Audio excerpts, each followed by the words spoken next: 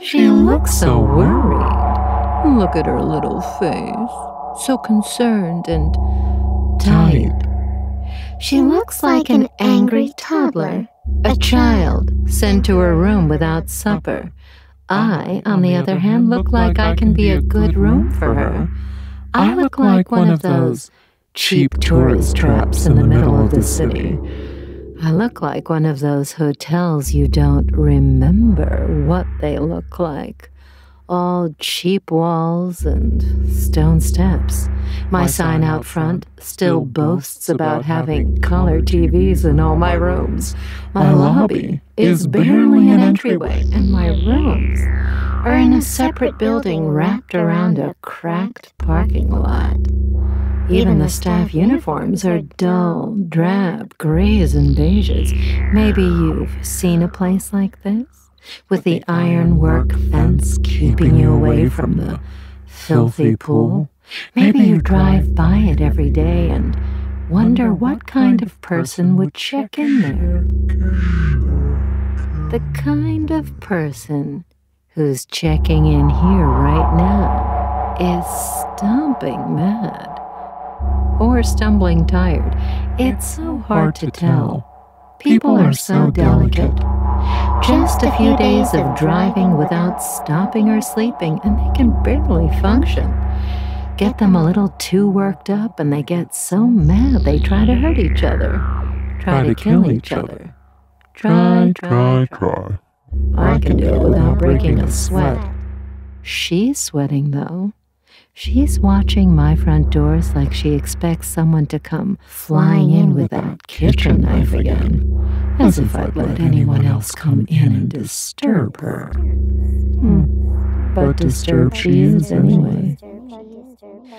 All the lobby boy did was ask if she had any bags, poor thing. He can see she doesn't, but he still has to ask. Oh, he still looks more or less like a person. He hasn't even started, to rot yet. She's just a little jumpy around him, I think. He can take some getting used to. She probably won't have time to get used to him, though. No. Now we've got a lovely room for her, and he worked so hard on it. She doesn't want him to take her to the room. Oh. Oh. She's leaving him there with nothing to do.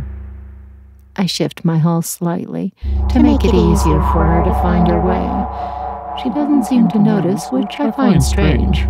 I think I do anyway. She's constantly looking over her shoulder and pausing around corners. Always looking and never seeing. I can see everything, of course. I see the lobby boy shuffling back to his closet, the skin on his fingers already receding and toughening, toughening, toughening. The manager sees him and checks her own nails to see if she's starting to spoil. Not yet, dear. Not yet, dear. But she can't see the blood vessels in her eyes have already burst. Mm-mm-mm. I just think people look so nice when they die. I look inside the office. The owner is there. He's not doing anything though, just staring at the walls. Looks like Looks like he's pouting to me. Maybe I'll give him something to pout about when he reports back to me. Maybe I'll give him something to pout about right now. I think about it. I hold him in my mind. And I know he knows it. His reports are always better when he's paying attention, so before I let him go, I give the walls a I give the walls of the office a little squeeze. He's lucky I don't stick him in the supply closet with the lobby boy. Everyone's already tucked away. Guest is already in the room. She's checked the locks and drawn the curtains, and she's even pushed the table up against the door. She washes her face with very cold water in the bathroom and checks the locks and curtains again. She paces the room, chewing on her fingers, tearing little red bits of skin away From the flesh. Bleeding and scared, and we haven't even begun yet. Wonderful. The anticipation I feel Shudders through the staff. Their attention turns to the guest. They watch through pale and soft rotting eyes from their stations as the fruits of their labor comes to bear. Inside. The bathroom, to the locks, to the curtains, to the bathroom, to the locks, and over and over again she goes. I don't even think she's aware she's doing it, pacing the room endlessly and endlessly, trapped in her own behavior, her conscious thoughts buried under a burning wave of the fear and trauma that chased her from her home She ended up here, and we have fears and traumas of our own for her. Blood has started to bead on her fingertips as she nervously shreds more of herself away. I twitch, and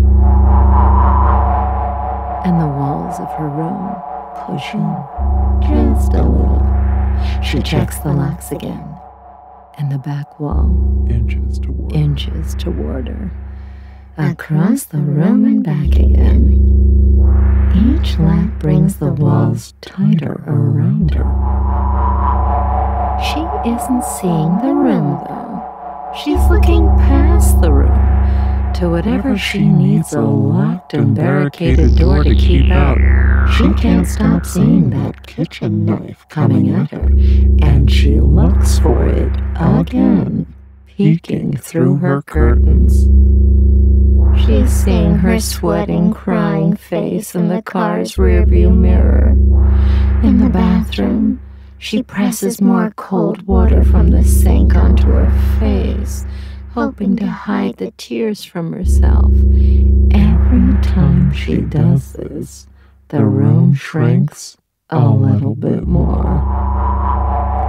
Soon the room is now bigger than a smallish office, and she barely has to turn around to check the locks, check the curtains, check the bathroom.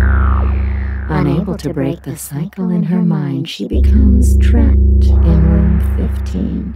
Oh, she is in real trouble now.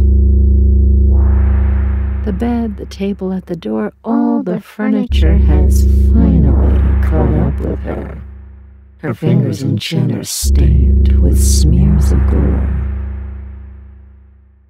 Limpid pools of blood rest on the bathroom floor and counter, spilled from her constant chewing and washing. Her legs splinter at the ankles when the bed needs more give than she's got to spare. It takes her mind off of the table, cracking her ribs one by one. She tries again to start her little cycle around the room, but the room has finally gotten itself around her. From their own little rooms, I can see my darling staff. Watch Susan Broduer finally succumb to all that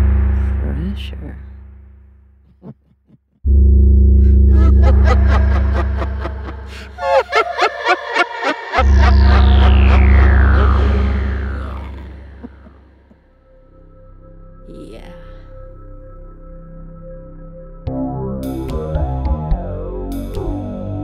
The Hotel was created and produced by Travis McMaster and Mark Whitten, starring Kelly Nineltowski as the manager, Mark Whitten as the lobby boy, Graham Rowett as the owner, and Christa Lewis. Music by Lauren Picorni, West Rodri, and special guest composer Zach Tatum Drake.